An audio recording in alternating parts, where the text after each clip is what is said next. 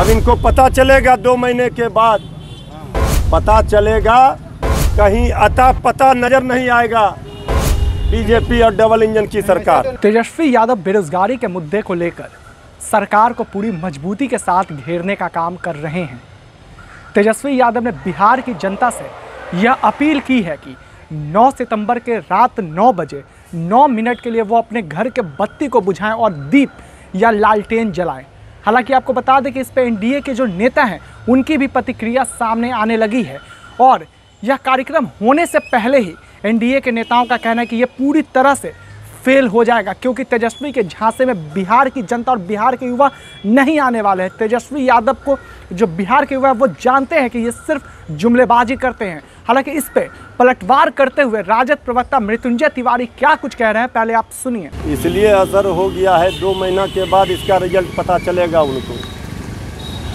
जिस युग में ये लेकर के चले गए बिहार को, ये जो चीख और पुकार है, गंदगी में नंबर वन है, अपराध में नंबर वन है, भ्रष्टाचार में नंबर वन है, इस युग से तेजस्वी यादव जी बिहार को निकाल करके ही दम लेंगे। चाहे ये हमारे विरोधी जितना छटपटाते रहे, तेजस्वी यादव जी ने जो संकल्प लिया है कि हम सकारात्मक राजनीति करके बिहार की तकदीर और तस्वीर को बदलेंगे, उसमें जो लोग भी बिहार के शामिल होंगे, सबका स्वागत है और बिहार का नौजवान आज बता देगा जिसका भविष्य इस डबल इंजन की सरकार ने अंधकारमय कर दिया है। वो दीपक जलाकर, लालटेन जलाकर, मोमबत्ती जलाकर अपने भविष्य को बचाने का संकल्प लेगा। तेजस्वी यादव जी के आह्वान के साथ बिहार का नौजवान, बिहार के लोग खड़े होंगे।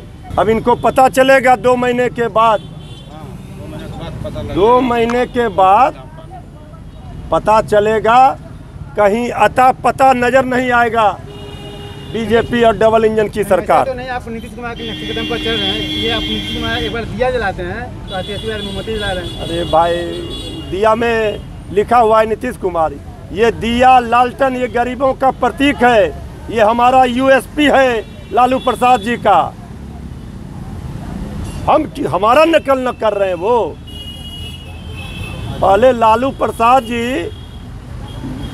जो लोगों के गरीबों के भविष्य को जो अंधकार में कर दिया इस एनडीए की सरकार ने, उस अंधकार से प्रकाश की ओर ले जाने के लिए जो लालटन हमारा प्रतीक है, चिन्ह है राष्ट्रीय जनता दल का, ये हमारा यूएसपी है। पहुँचा दें, चाहे जो भी पहुँचा दें।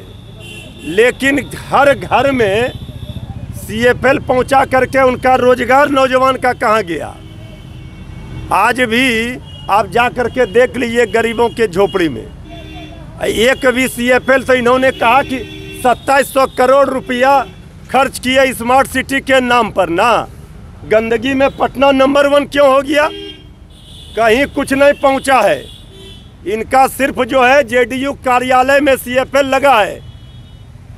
और अपना चेहरा चमका है और दिया है छवि अपना चमकाने के लिए। जब पटना राजधानी में पुलिस वर्दी में है, उनको मार रही है, अपराधी और माफिया तो ये क्या कहाँ पहुँचा है, सबको पता चल गया कानून का राज क्या है। फूल एंड फाइलन नहीं, ताबूत इस डबल इंजन की सरकार में तेजस्वी यादव जी के द्वारा इस सरकार के ताबूत में अंतिम कील ठोका जाएगा बिहार में। झारखंड दिल्ली के बाद अब बिहार की बारी है। इसके बाद हिंदुस्तान पर चढ़ाई है। आपने सुना, मृत्युंजय तिवारी ने एनडीए को घेरते हुए कहा है कि इन्होंने कुछ नहीं किया। आज भी गरीबों के घर पे या झोपड़ियों के अंदर आज भी लालटेन ही जलते हैं। लेकिन जिस तरह से नीतीश कुमार बड़ी बड़ी बातें करते हैं तो बिहार में अगर इस तरह का कोई विकास करते हैं तो जनता भी इन्हें जानती, पहचानती, लेकिन नीतीश कुमार से जनता जो है, वो पूरी तरह से परेशान हो चुकी है। साथ ही आपको बता दें कि मृत्युंजय तिवारी ने इस चीज़ का भी ज़िक्र किया है कि झारखंड, दिल्ली के बाद अब बिहार की बारी है। दो महीने के अंदर ही इन्हें अच्छे से पता लग जाएगा और चुनाव के बाद ये कहीं भी मुँह दिखाने लायक भी नहीं बचेंगे। ऐसे ही तमाम अपडेट्स आपको एचएस बिहार देते रहेगा। अभी के लिए फ़िलहाल इतना ही। नमस्कार।